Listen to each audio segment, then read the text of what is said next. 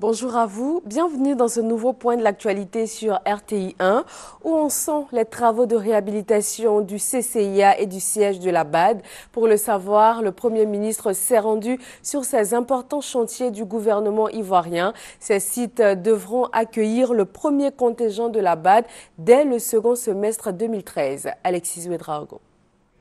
Trois mois après sa dernière visite sur les chantiers de la BAD à Abidjan, le chef du gouvernement s'est rendu ce mardi au siège en rénovation de l'institution. Réunion fermée avec les responsables des travaux et visite minutieuse des lieux. Daniel Cablon Duncan, c'est au terme de sa visite, voulu rassurant. Pour les engagements pris, les engagements seront donc tenus. Les dates ont été fixées, les dates seront donc maintenues. Quoi qu'il en soit, si j'ai bien saisi ce qu'il a indiqué, euh, à la fin du premier semestre, tout sera prêt ici. Plus tôt dans l'après-midi, c'est le siège CCIA qui a été visité. Là, de bonnes avancées ont été notées. Le chiffre exprime en général un taux de réalisation de 80%. Le deadline du 30 septembre devrait être respecté. L'année 2014, en principe, doit avoir le cinquantenaire de la Banque africaine de développement qui doit se passer ici à Abidjan. Et les assemblées de 2015 vont se voir aussi à Abidjan. Donc il y a là donc un défi important que le gouvernement doit relever. Les écoles internationales, une autre préoccupation pour les agents de la BAD. Les travaux y avancent bien, notamment au lycée américain, au lycée Mermoz. Près de 200 élèves sont déjà inscrits d'ailleurs au titre de l'année académique 2014 au lycée américain. Sur les sites, les choses prennent forme, les broussailles font place à des tracés corrects. Au niveau du lycée américain, euh, ils ont quitté, les choses ont commencé mi-avril et nous sommes en de ce qu'on nous indique, euh, je crois, à la fin du mois de juillet, les travaux là-bas seront terminés. Nous avons fait le lycée Mermoz et là aussi les travaux avancent. On nous a indiqué qu'en août, la première partie concernant 400 élèves du primaire, cette partie-là sera donc terminée et que l'ensemble sera donc, euh, donc prêt en janvier au plus tard de l'année 2014. Daniel Cablon Duncan a pour finir exhorté les Ivoiriens à s'apprêter à un accueil chaleureux du retour de la BAD dans le pays. Deuxième jour des épreuves orales du baccalauréat ce matin. Cette session 2013 enregistre plus de 215 000 candidats. Ils sont repartis sur 750 centres dans tout le pays. Cette phase orale prend fin vendredi prochain pour laisser la place aux épreuves écrites. Les examens professionnels ont également démarré hier matin, mais il s'agit des épreuves écrites pour le certificat d'aptitude professionnelle CAP, le brevet de technicien, le BT et le brevet d'études professionnelle, la BEP. 100 nouveaux autobus dans le parc de la Sotra. Il est question de renforcer les lignes urbaines grand public. C'est la première vague de 500 autobus acquis par la société. Le reportage de Léon Pro. 12 heures ce mardi, boulevard Valérie jusqu'à Destin. À l'arrêt, des usagers aux aguets pour sauter dans le premier bus de la Sotra. Certains attendent depuis une heure d'horloge, d'autres un peu plus. Oh, c'est pas facile. Je suis là depuis une heure de temps, il n'y a pas de bus. On souhaite que la Sotra fasse venir assez de bus. Avec le bus, au moins, le transport est un peu moins. Mais comme ça met le, du temps à passer, donc j'aimerais vraiment de qu'il ait euh, au moins chaque 15 minutes un bus. Parce que là, au moins, ça nous a arrangé. Message bien perçu, 100 nouveaux autobus ont débarqué au port d'Abidjan pour agrandir le parc automobile de la Sotra. Ces engins d'origine hollandaise tous des véhicules d'occasion de 5 à 6 ans d'âge ont été conduits ce même jour à l'atelier mécanique de la Sotra pour le conditionnement avant leur mise en circulation. Nous sommes à la première vague de 100 autobus qui sera mis en circulation dans une semaine. En 2011, en avril, on avait 90 autobus. Nous sommes montés en fin, en fin 2012 à 500 autobus. Nous prévoyons en fin 2013 1000 autobus. Donc c'est une progression qui s'est faite de façon sûre, maîtrisée, pour allier rigueur et contraintes financières. Ces 100 premiers autobus constituent la première vague des 500 nouveaux engins acquis par la Sotra pour le renforcement de ces lignes urbaines, encore dites lignes grand public. Les 400 autres autobus restants vont arriver tous les 45 jours à compter de la présente livraison, toujours par vague de 100. L'opération représente dans son ensemble un investissement de 180 milliards 375 millions de nos francs. Aujourd'hui, 19 juin, marque la journée mondiale de lutte contre la drépanocytose. 14% de la population ivoirienne souffre de cette maladie héréditaire très peu connue. La déclaration du gouvernement avec Francis Boifo. Bientôt, une campagne de dépistage de masse gratuite de la drépanocytose en Côte d'Ivoire. Déclaration du ministre de la Santé et de la lutte contre le sida à l'occasion de la célébration de la journée mondiale de lutte contre la maladie. La principale mesure à prendre pour éviter la drépanocytose à nos enfants qui vont naître est de chercher à savoir si la maladie se trouve déjà dans le sang de l'homme et de la femme. Pour cela, j'invite chacun d'entre nous à faire l'examen de sang appelé électrophorèse de l'hémoglobine avant la conception d'un enfant et même mieux avant le mariage.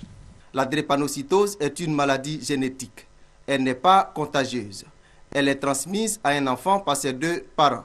C'est une maladie du sang. En Côte d'Ivoire, 12% euh, de la population euh, sont porteuses de l'hémoglobine S, faisant de la drépanocytose un véritable problème de santé publique. Par ailleurs, les données des services d'hématologie des CHU d'Abidjan en 2008 indiquent une prévalence de 44,5% et une mortalité de 21,3%. En Afrique, la drépanocytose est à l'origine de 5% des décès d'enfants de moins de 5 ans.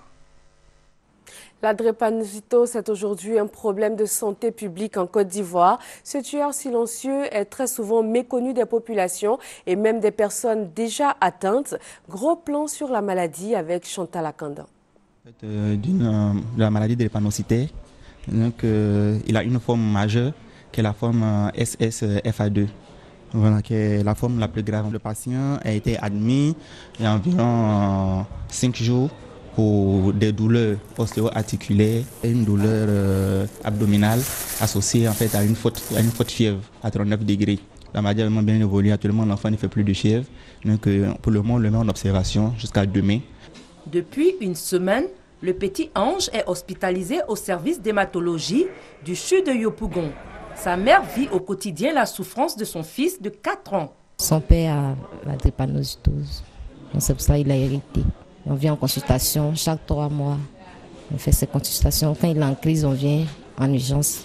Comme Ange, près de 6000 malades de la drépanocytose sont enregistrés au service d'hématologie du CHU de Yopougon. Parmi eux, Hakim, drépanocytaire. Je n'arrive pas à partir à l'école comme mes autres amis parce que bon, je ne suis pas toujours en bonne santé comme eux. Je peux faire un mois à la maison, un mois, deux mois sans aller à l'école. Je vois qu'il n'y a pas de prise en charge pour les drépanocytaires. Les médicaments sont payés par nous-mêmes. Donc, si l'État pouvait faire quelque chose pour les drépanocytaires, ça nous fait très plaisir parce que nous sommes confrontés à des douleurs durant toute la vie. La prise en charge de la drépanocytose reste une préoccupation. En moyenne, pour le suivi, le coût de traitement est aux alentours de 100 000 par mois. 100 000 francs par mois, ce n'est pas à la portée de tous voyez Donc seuls les sujets assurés qui ont les moyens, eh bien, peuvent garantir, n'est-ce pas, une espérance de vie euh, vraiment superposable au sujet sain. Donc il faut se battre pour que le centre de prise en charge de la dépenseuse voit le jour, avec des moyens conséquents. La drépanocytose, maladie héréditaire, touche 14% de personnes en Côte d'Ivoire et 120 millions de personnes dans le monde. Pour les spécialistes, il est mieux d'insister sur la prévention. On ne peut pas la guérir comme ça. Donc, ce qu'on peut faire, c'est d'abord, un, d'éviter la naissance des enfants drépanocytaires. Et ça, on peut, on peut le faire. Éviter, n'est-ce pas, les mariages à risque. Les mariages à risque, ce sont les mariages consanguins. Donc, lorsqu'on va faire comprendre à la population qu'il faut faire le dépistage systématique de la drépanocytose et éviter que deux sujets qui sont porteurs du trait de la drépanocytose puissent se mettre ensemble pour mettre au monde des enfants malades. Une personne meurt pratiquement chaque minute de la drépanocytose et ce sont le plus souvent des enfants de 0 à 5 ans. La drépanocytose est un problème de santé publique. Le souhait des malades est de bénéficier de traitements à moindre coût. Hors de nos frontières au Mali, 11 jours de négociations entre le gouvernement et le MNLA. Résultat, un accord préliminaire à l'élection présidentielle et au pourparler inclusif de paix au Mali. Il est principalement question de permettre un retour de l'État dans le nord et de prendre en compte les revendications des groupes présents dans cette zone. Retour sur une partie de l'histoire commune à la France et à l'Afrique. Il y a 73 ans, Félix Eboué, administrateur colonial, résistant, homme politique et grand humaniste, entraînait tout un continent au secours de la France. Des images pour une légende. En ce 20 mai 49, le Panthéon s'apprête à accueillir Félix Eboué, ancien gouverneur général de l'Afrique équatoriale française, compagnon de la libération. Résistant de la première heure, neuf ans auparavant, alors gouverneur du Tchad, il fut le premier parmi les chefs coloniaux à refuser l'armistice, entraînant dans la résistance toute l'Afrique équatoriale française ainsi que le Cameroun. Le premier aliment à De Gaulle après son, appel du 18 juin, ça a été le 19 juin, la prise de décision de Félix Eboué de rallier la dissidence, de rallier le général De Gaulle, qui a été effectif euh, après le télégramme qu'il a envoyé le 19, qui a été effectif le 20 juin. Et, à partir de là, donc, De Gaulle a eu une assise, qu'on appelle une assise territoriale, une assise euh, qui lui a permis en fait d'asseoir son autorité en tant que chef de la résistance française. S'il n'y avait pas eu ça, la résistance aurait pris une autre figure, aurait eu un autre déroulement. Et je ne pense pas que l'Afrique totale serait, ralliée à De Gaulle s'il euh, n'y a pas eu ce moment de dissidence de, Félix Eboué. Aux Antilles, Guyane et en Afrique noire, l'histoire de sa vie se confond avec la légende.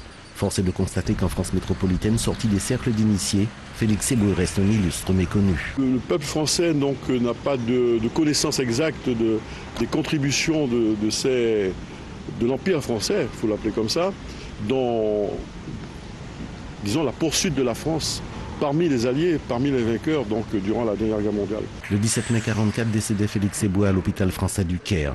Homme d'exception, fils emblématique de la Guyane, il est sans doute un des plus grands Français du siècle dernier. Il repose d'ailleurs au Panthéon national parmi les plus grands serviteurs de la France. Pour terminer, la Côte d'Ivoire est championne du monde de taekwondo. Les athlètes ivoiriens ont remporté la 9e Coupe du monde francophone de taekwondo organisée au Vietnam. Ils ont été accueillis en triomphe par les Ivoiriens. Le reportage de Benson Pierraka. Environ 15 000 km parcourus, plus un décalage horaire de 7 heures. Forcément, la fatigue se ressent sur les visages des héros de Ho Chi Minh Ville au Vietnam. Mais face à l'accueil triomphal qui leur est réservé, les membres de la délégation retrouvent le sourire. La joie est encore plus grande tout au long du parcours, de l'aéroport à Trècheville, de Trècheville à l'hôtel du district, au plateau.